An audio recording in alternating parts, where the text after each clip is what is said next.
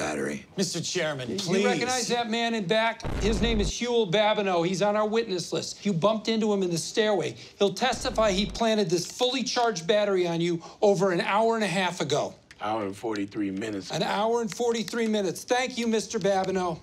Huh? And you felt nothing.